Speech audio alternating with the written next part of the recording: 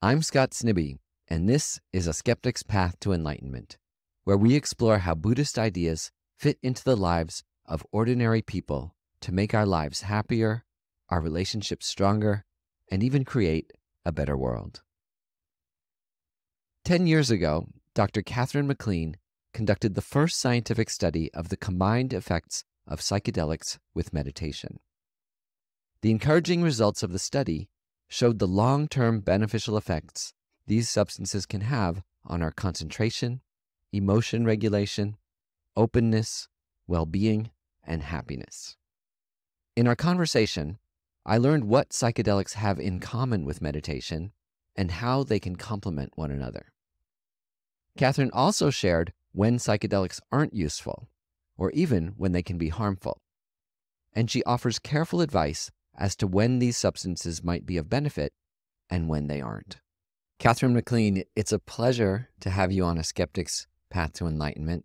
I'm really looking forward to our conversation, and I appreciate your making the time for it. Thank you.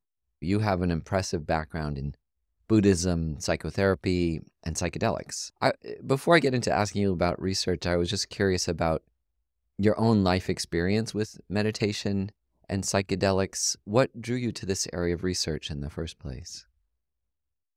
Uh, when I arrived in college, I had pursued a kind of classic, somewhat privileged educational path. So I was valedictorian, I was captain of the track team, I had kind of ticked off all the boxes of achievement. And then when I got to college, I was introduced to the really harmful effects of binge drinking and also injury. So my body stopped working the way it had up until that point. And after a number of years of experimenting with different substance approaches to you know happiness or hedonism didn't quite work out the way I planned. I actually found meditation through a rock climbing instructor at Dartmouth. And these Bhutanese uh, monks were living in the town next to Hanover, New Hampshire. And so he took me to one of their sits. And it was the first time I'd ever sat in a room with people meditating quietly. And that thread, I think, convinced me that maybe meditation had at least as much to show me as psychedelics. Thankfully, I got a really solid foundation in mindfulness and meditation before I had to embark on what is actually very complex and difficult work, which is sitting for people trying to understand psychedelic experiences. That's what I and I think a lot of people are most aware of your work is that you were a lead researcher on Johns Hopkins' famous study on the combined effects of psilocybin and mm-hmm. meditation. I was actually accepted into that study. That's a funny thing because I'm a I'm a Tibetan Buddhist practitioner, and normally we take a vow not to take any intoxicants. But I actually asked my teacher, I said, Oh, would it be okay? And and of course, like as a 70s, 60s person, he had taken lots of drugs in the past. So he actually said it would be fine. But then it um I just wasn't able to do it because of the travel. Oh wow. So I've I've actually never taken any psychedelics, which is a kind of a funny story because my my dad wanted me to take them so much that I I rebelled and didn't. I've heard I've heard of people like you. It's like the only way to rebel is to be very very straight and sober. Yeah, yeah. Well, he's I was really into math and physics, you know, and I was telling him what I was learning and he was trying to build perpetual motion machines and things. I said, "You know, like thermodynamics." And he got kind of mad at me. He's like, "You need to take LSD as soon as possible." so I never took it. Um, but I'm really, really interested in the connection um, and the benefits of this com- combination of meditative practice and psychedelics? Sure. So there were kind of two parallel studies happening at the same time. The first one was with naive meditators, so people who had not really meditated before and had maybe had a handful to zero psychedelic experiences. And my mentor, Roland Griffiths, was very particular about this. He first and foremost wanted to make sure that people's intentions were sincere and that their they wouldn't push back at us against meditating every day. And so we already had very highly motivated people in the study um, and interested in a spiritual outcome. This wasn't mental health care, this wasn't therapy, this wasn't trying to fix them. So before I explain what happened to them, I also want to say that we are also studying people with a lot of meditation experience and no psychedelic experience. And we wanted to understand what happens if you've been meditating for decades and you really understand the mind and you have an ethical foundation, a very spiritual life, and then you get to drop this very different kind of fuel in the water and see what what happens. It's the opposite experiment of what the a lot of the hippies did, which was put all of the LSD in the pool first and then try to swim, you know?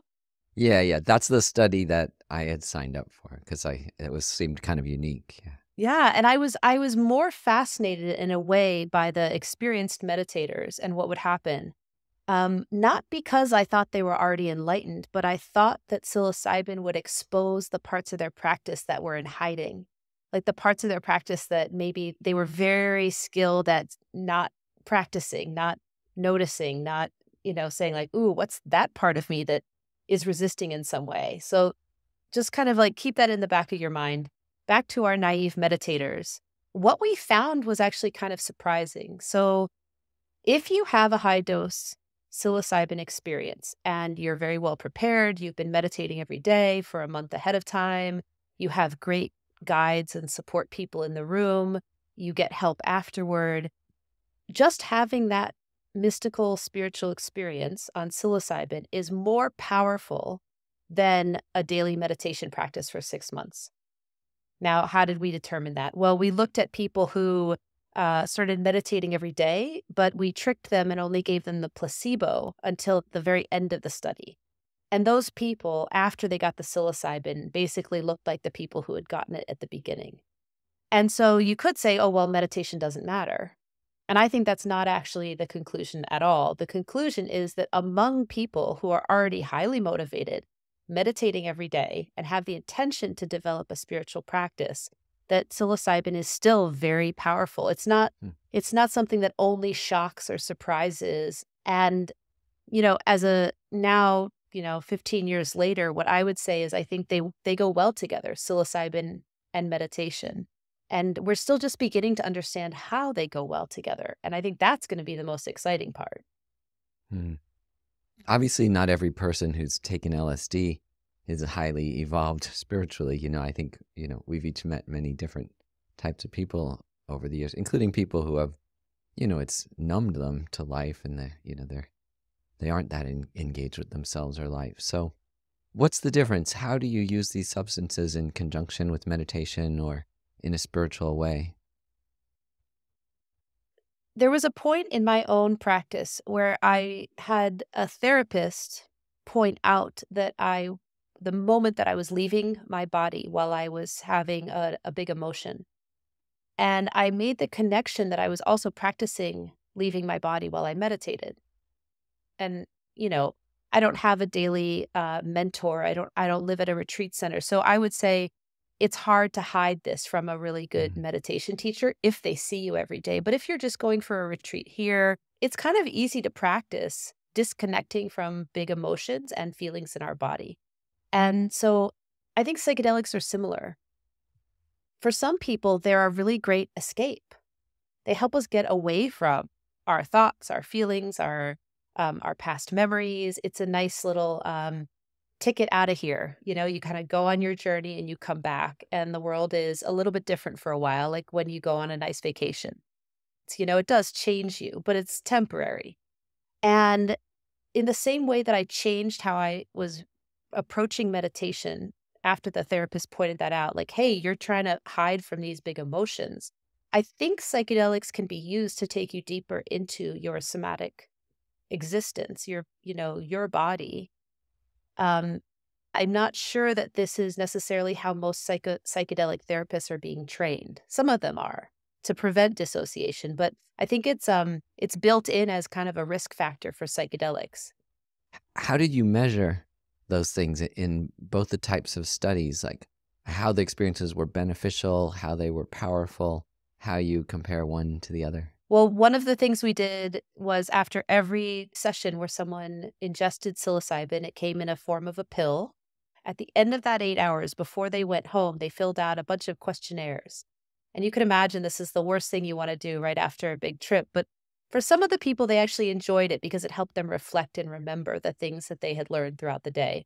So we had their very uh, fresh impressions of the experience. And uh, one of those questionnaires was a mystical questionnaire. And those 30 items predict whether you had a classic unity experience. So a connection with all things, usually a dropping away of time and space. It's very positive, it's blissful, uh, and it's hard to describe to others unless you've experienced it yourself.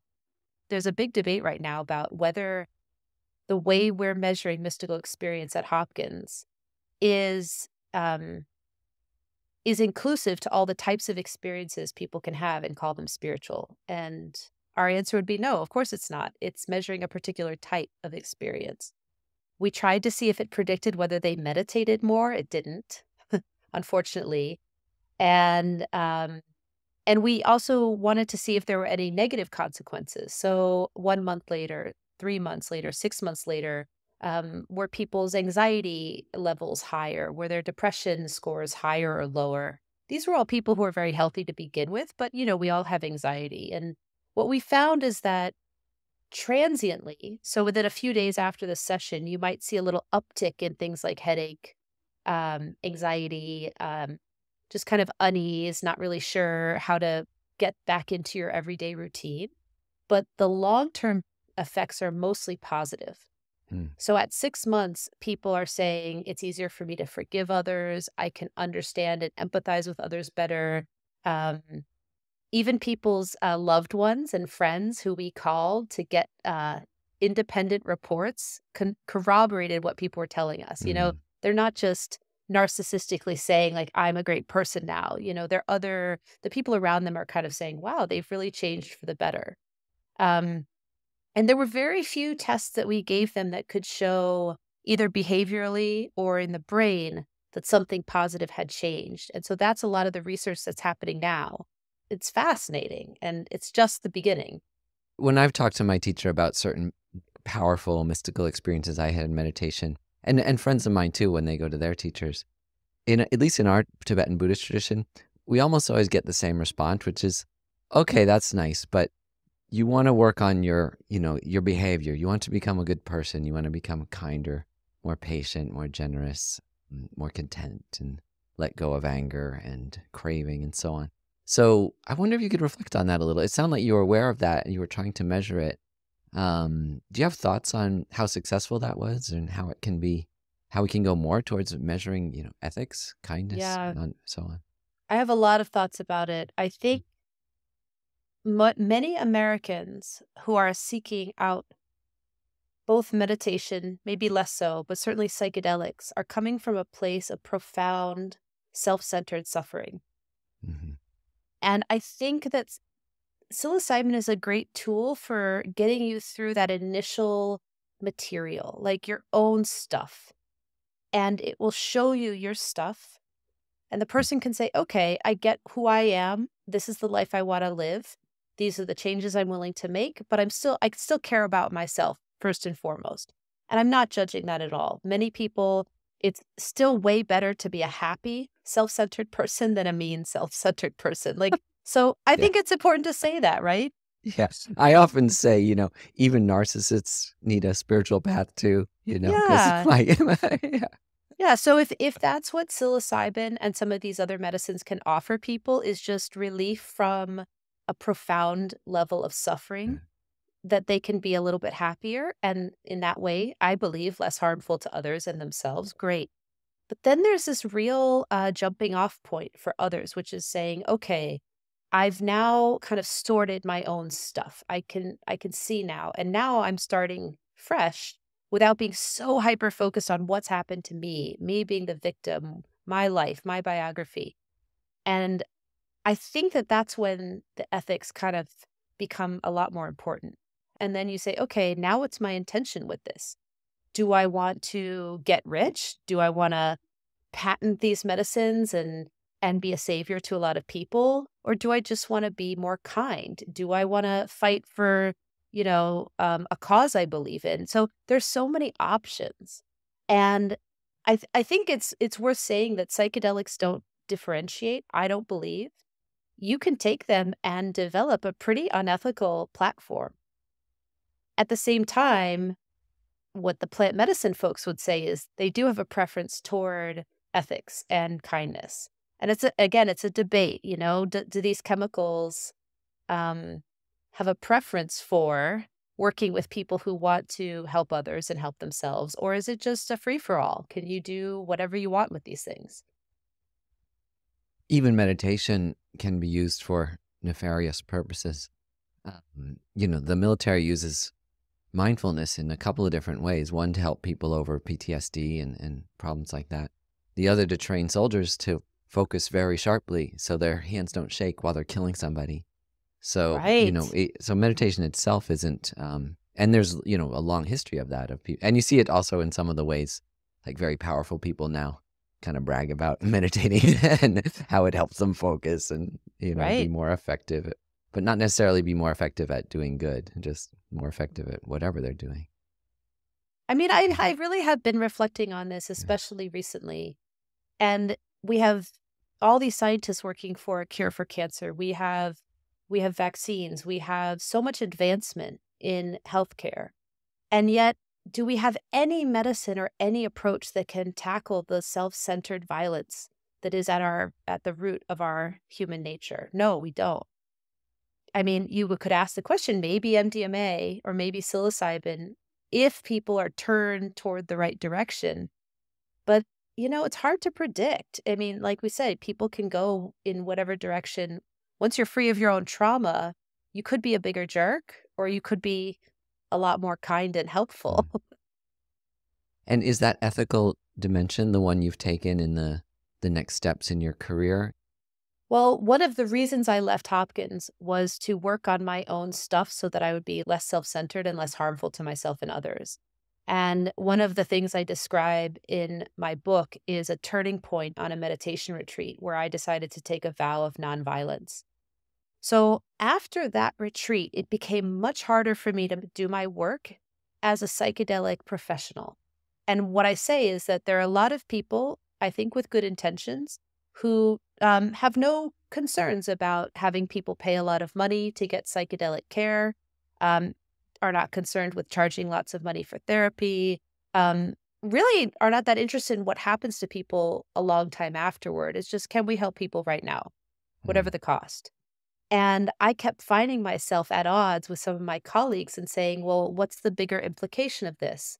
You know, what kind of support are we providing this person six months down the road? And so when my friend Chris Kelly, out of, um, it was actually out of concern for a dear friend of ours who went really off the rails after a psychedelic experience. We said, wouldn't it be amazing to have a Sangha, a community of practitioners who could be a safety net for folks like this? And so Psychedelic Sangha, which was created maybe five years ago, four years ago, um, is is finally maturing into that. And I would say that the last conversation I had with Chris, we were talking about lineage and we were talking about ethics. So, like, what are we doing here? We're actually not doing the thing that psychedelic psychotherapy is doing. We're asking different questions and we're asking how can we be of service to each other? Not just can I get happier, but can I be of service? Can I help others? And so I would say that it's taken a very happy um, path, although there were many points where I might have been um, like seduced by the systems that exist, you know, capitalism, uh, fancy careers. And so, again, I think now the Buddhist um, ethos of like, it's not about how glamorous your life is. It's not about being a celebrity. It's about, do you care about the person next to you? You know, would you put up with a little unpleasantness to help someone? Like these, like very simple hmm. questions. Mm. Can you talk about a specific example from someone in your Sangha, I guess including yourself if you like, of how that community has benefited them? There are a few elders in the community who've been practitioners for a long time, have a very spiritual life, but um, live alone, are facing um, more and more Ill- either illnesses or challenges health wise. And what we noticed in our community is that we have a lot of young people with a lot of energy and resources. And we have these elders who even though they have a very strong spiritual practice, maybe don't have the physical people in their vicinity who could help them carry out the things they care about at the end of their life. And so, um, although it hasn't, um, thankfully, it hasn't had to manifest yet. As I told one of my friends who's an elder, I said, I'd love to be there when you die, but not yet. You know, like I want you to keep living selfishly. I want you to stick around. But it's something that Chris and I have talked a lot about is how can we generate interest among young people to provide support for elders at the end of life so that people can not only get the health care they want, but maybe they want their body to remain undisturbed for three days. Maybe they want the Tibetan death instructions read to them. I mean, there's just so many possibilities, but this is not really a thing you ask family to do. These are such specific spiritual instructions, but it's something you could ask your Sangha members to do for you. Mm. It's become a bit of a focus for us is how to help people prepare for death and not just your own, but how are you going to help, you know, the other community members? It's very beautiful and um, is very related to the way communities functioned, you know, before modern society, obviously with that kind of support. And uh, there's an architect who wrote, wrote a great book called A Pattern Language here, uh, Christopher Alexander, and it was it's actually almost like a Bible. It's like rules of how to make a great society, and one of them was like old people everywhere. you know that that we shouldn't hide them out, hide them away. You know, we need to be integrated communities. So what you're talking about sounds very, very beneficial. Question though, what does that have to do with psychedelics? So in 2012, I met a Zen teacher, gave me an instruction. I followed the instruction and had a very spontaneous and disorienting experience of complete dissolution. And it left me, um, in terms of psychiatric language, psychotic, unable to fully function, really struggling with a lot of anxiety and paranoia and distortions of reality. And then I met another Zen teacher who helped me name what that experience was, uh, reoriented me to the breath. And then shortly after that, my sister went in the hospital with advanced stage cancer and died. Mm-hmm. And in the moments that I was with her, I understood that the thing that had happened to me, this very disorienting experience, had actually shown me how to help someone through the disorienting process of dying. And now you could say, well, what does that have to do with psychedelics? Well, I don't think most people have a spontaneous dissolution experience after hearing a single instruction. I was just still bizarre. I, I can't explain it. I don't know if I was lucky or unlucky. Um, so I think I think that psychedelic experiences can help people tap into both the beauty and the disorientation or fear of nothingness, so that everything mm. and nothing. And once you have that glimpse, my belief is it helps you be more present for people who are going through a very similar process as their senses become different, as they lose the control over their body, as consciousness changes. So, yes, meditation could do it on, on its own. We know that.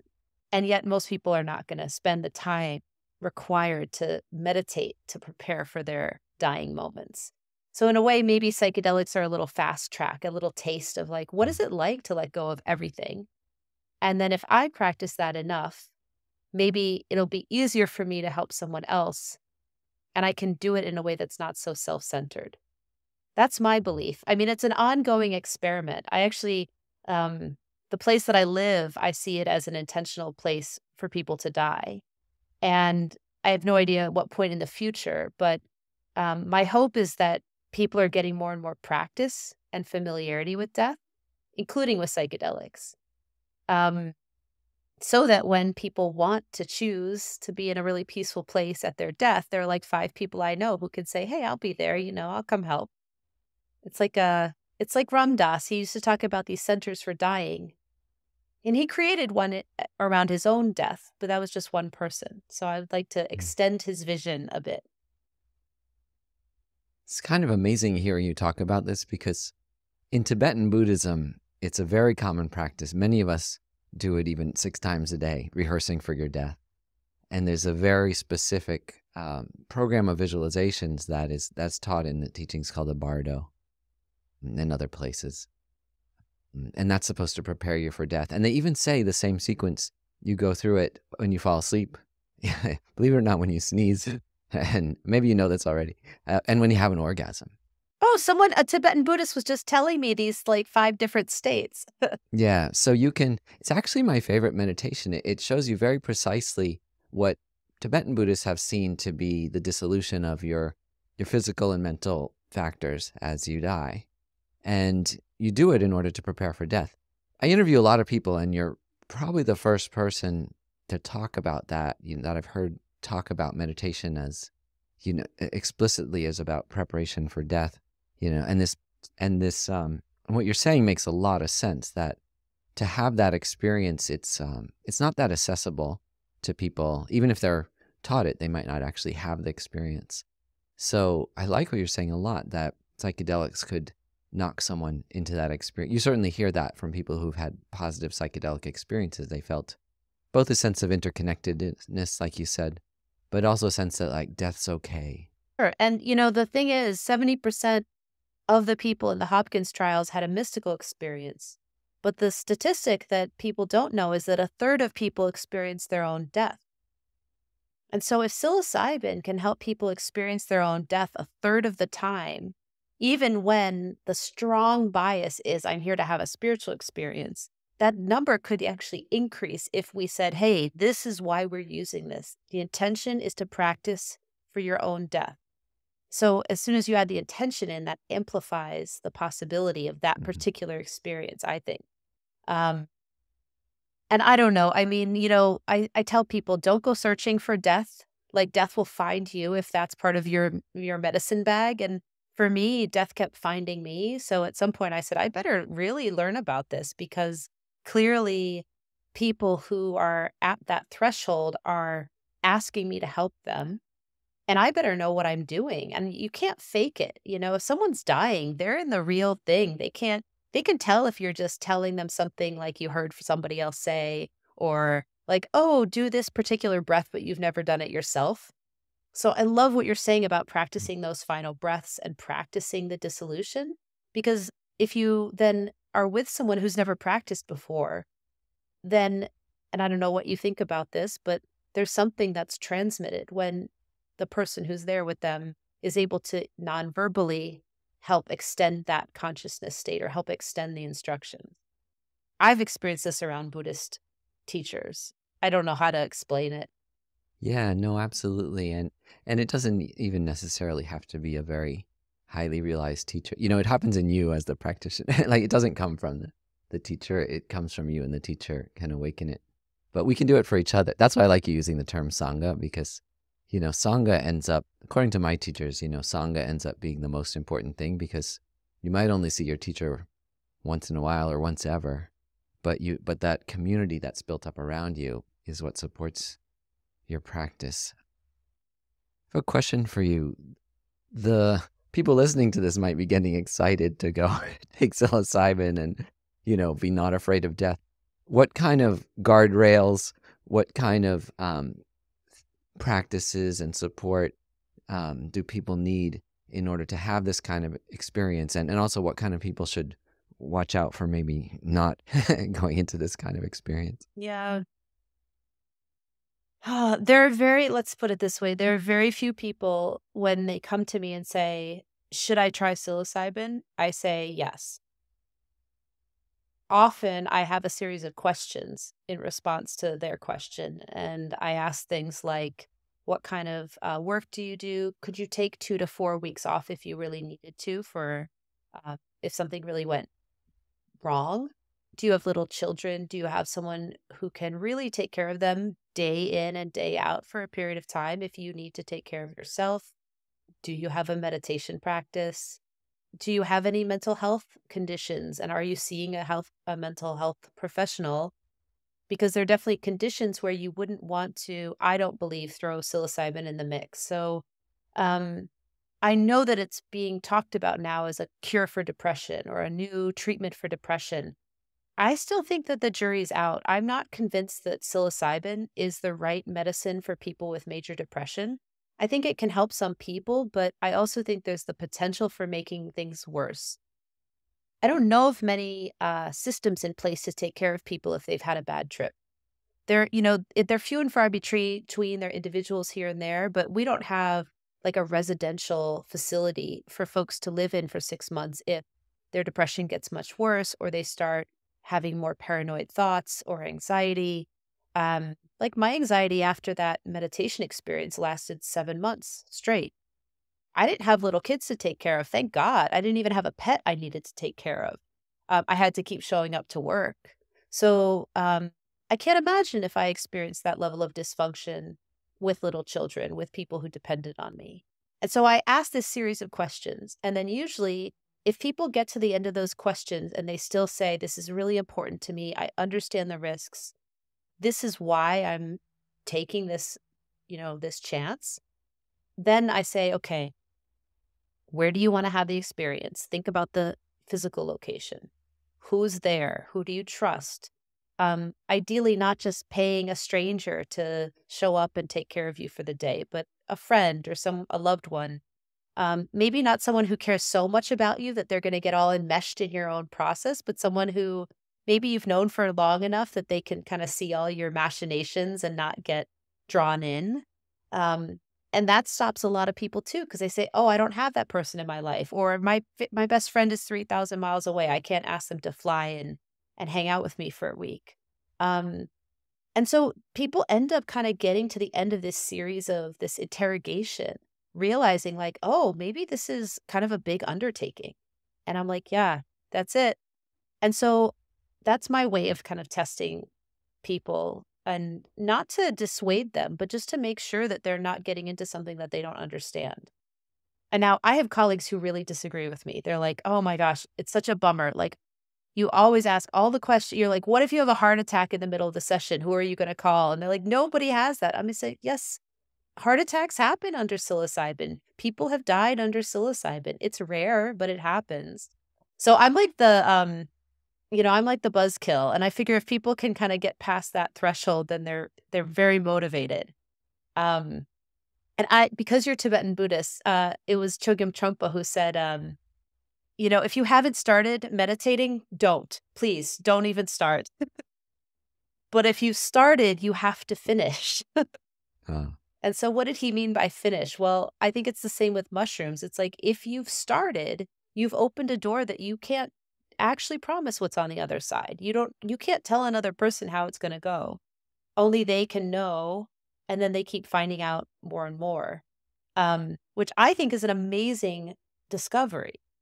Um, but my own path of discovery was not pleasant a lot of the time. It was really hard.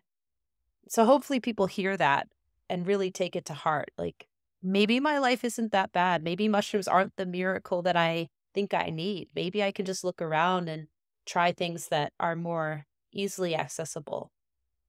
Yeah, we we we call it starting the journey of self discovery, you know. But from a Buddhist perspective, though, you stay starting the journey of non self discovery. you know, realizing that you actually aren't the the hard, tight, separate thing you think you are. But then it's a very long journey of kind of unraveling, you know, how to live in the world and whatever you might actually be. You're the most conscientious person I've talked to on this topic, so I really I really, really appreciate it because because from my perspective, it it seems like there's a lot of risks. And I saw what psychedelics, you know, did to my my father and so on, and it, it's good things and and bad things. You know, yeah. it had it had positive opening effects, but also really kind of knocked knocked them out of you know some of the some beneficial things too. Right. Yeah. Well, thankfully, I became a mom, you know, to two kids, and that happily kind of ended a period of a certain kind of exploration for me. And uh, in a way, I mean, the end the end was created by the beginning because the mm. mushroom experiences were what allowed me to make the changes and connect with a part of myself that really desired to be a mother, mm. to welcome in that new path of self discovery. So, in a way, it's like the mushrooms just kind of opened a door into something new and and again that's i share that so that people understand that the mushrooms are not the end they're just another teacher they're another gateway so as a teacher of mine said he said the whole point isn't to when the door opens you don't stand there admiring the frame you know and the artistry of the door you walk through the door And a lot of people, psychedelics become this this thing of this worshiping the doorway. Yeah, it's like the show, the entertainment or something. Uh, I could talk to you for a long. I'm really enjoying talking to you. Uh, but a, a question for you, one of my last questions, is whether there's there's issues of um, access, socioeconomic status. You know, this is something generally wealthy and whiter people are doing. You know, more than other types of people. Are there variations in access, acceptance, effectiveness of these treatments across like socio socioeconomic um, strata, race, gender, religious beliefs, and so on? Um, that's a big topic, but it's a big topic. Baltimore is a very diverse city, and yet most of our participants were white. They were uh, highly educated. They um, had more access to resources. So even geographically situated in a place where, that should have been easy to access was not easy to access. Um, so I think it's a big question. And when all of the research centers, or most of them, are run by highly educated, privileged white people, it's a blind spot that we just have to address. And I think people are starting to address it now. Um, I have good friends who, um, a very dear friend out at UC San Diego who's uh, Palestinian American, and he got a huge psilocybin grant. And that's a, huge step. More women are getting grants to do this research. So I think we're starting to see the increase in diversity. Um, and when the person running the studies isn't of a certain demographic, they're more willing to work hard to get participants through the door and the participants are willing to meet them where they're at and say i trust you to go through this kind of wild experience. But the thing i do want to point out is at least with psilocybin anyone can grow mushrooms. And i i remember uh, someone who taught me saying something like oh well we can't expect um you know people who don't have a job and can't put food on the table to spend the time to grow mushrooms. And I said, well, why not? Maybe that is the thing that would help direct their intention to a place where they can um, make a very different life choice. So um, it's illegal right now in almost every jurisdiction. So I want to be super clear about that. I'm not encouraging people to break the law, but I'm hoping that there's a lot of um, attempts to change state law to allow what's called home grow or self treatment. So you could grow a certain amount of mushrooms for your own mental health care, for your own spiritual practice. I'm working really hard in the state of Vermont to make sure that that piece of the conversation isn't left out when they're talking about what does it mean to bring mushroom medicine to Vermonters. I said, well, a big part of what it means is letting people grow their own mushrooms because people can't pay to get to a big hospital up in Burlington when they live four hours south. Um, most people don't want to leave their house in the winter. It's very cold and snowy. So um, I think mushrooms are kind of the great um, equalizer in that way. You don't need a, a chemist, you don't need a manufacturing license, you don't need a lot of money to create the medicine. Um, they'll grow anywhere. They'll grow in a closet. you know, it's quite it's quite simple. They grow out in the median outside our house. I've seen people out harvesting actually here in Berkeley. Yeah. Um, is there anything else you'd like to add about um, psychedelics, meditation, and Buddhism? Uh, I think that the Buddhist, at least the American Buddhist community, is becoming more open to this concept that potentially there are, um, uh, let's say, spiritual supplements that are not intoxicants.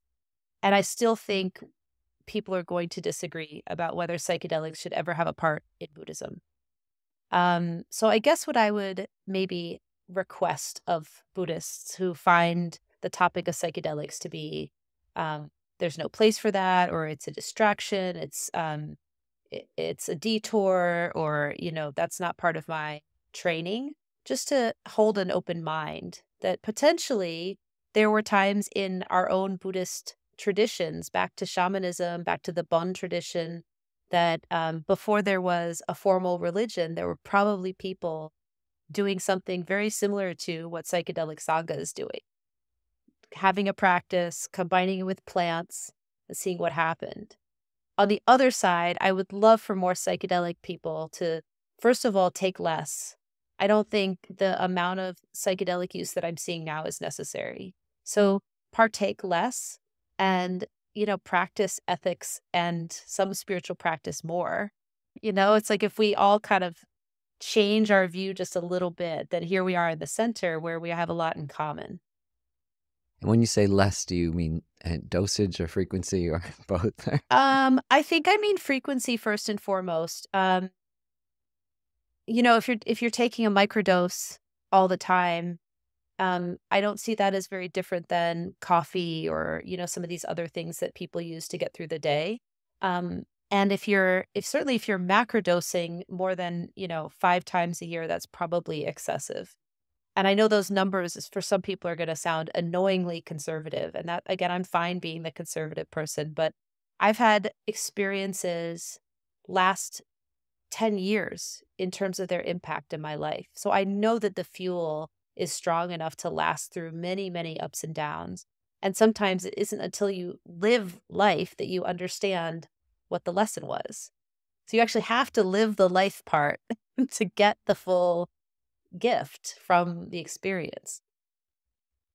In our next episode, we're going to air a meditation that you've kindly agreed to lead. Sure. But uh, could you just describe that a little bit for people listening right now, if you don't mind? Yeah. Um, this was actually a meditation that the, um, I say the mushrooms, I believe they're intelligent. I believe they have agency and intention. So the mushrooms shared with me a way to help others access the space of uh, psychedelics, but from a sober standpoint. So um, I've I've taught this meditation to hundreds of people it seems very simple and it's actually um, inspired by a lot of Buddhist practices, but I take people through all of their senses. And they, um, well, they, the only thing they have to have from their past is a specific memory, ideally not a super difficult memory and not a super positive memory, but kind of, you know, a beautiful, um, meaningful time in your life. If you have had a psychedelic experience, you can pick a psychedelic experience, but not one that was just so overcharged that it is hard to differentiate the various sense uh, memories.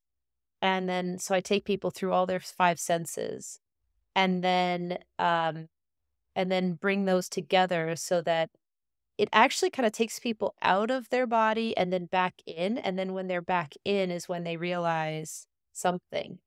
It's always mysterious what comes up for people, um, but it's called RAFT and it stands for remembering to be aware of your body and trust your experience. Wonderful. Well, I'm looking forward to doing that with you right now, and people can listen next week.